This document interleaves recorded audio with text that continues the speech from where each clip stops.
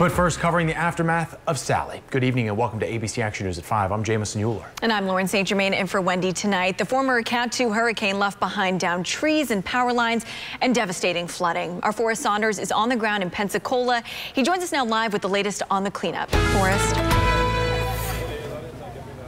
Well, I can tell you this. Today is all about cleanup here in the Florida Panhandle, specifically out here in Pensacola where I'm standing.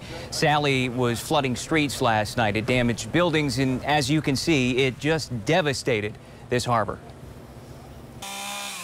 The sights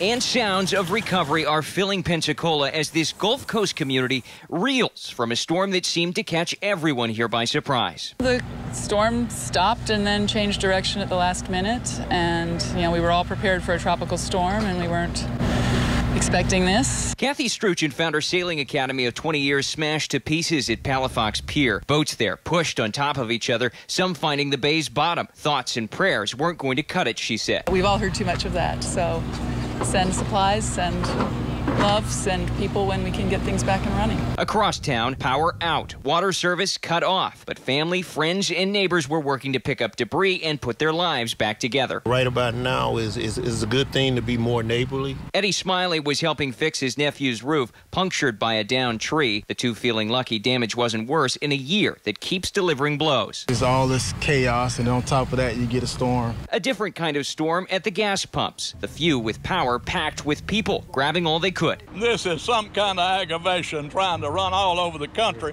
finding gas. Bill Wiley was frustrated after spending the morning searching for fuel. The Floridian saying better preparation should have been made. It is terrible. They somebody has dropped the ball.